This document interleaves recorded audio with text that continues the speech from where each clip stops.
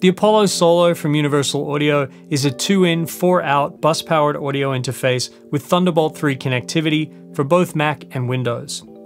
The onboard UAD2 Solo processing core allows for running Universal Audio's award-winning plugins with near-zero latency for both recording and monitoring. To get you started, the unit ships with the Real Analog Classics plugin collection.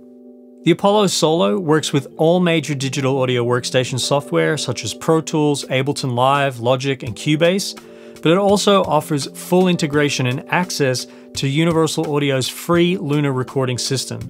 This powerful software provides a streamlined workflow for incorporating Universal Audio's plugins into your recording process.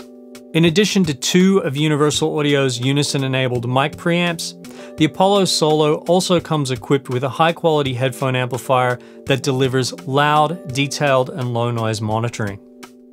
Rugged all-metal construction provides some peace of mind for grab-and-go recording, and the fact that this unit operates using a bus-powered connection from either a Windows or a Mac computer is another plus for portability and helps reduce cable clutter.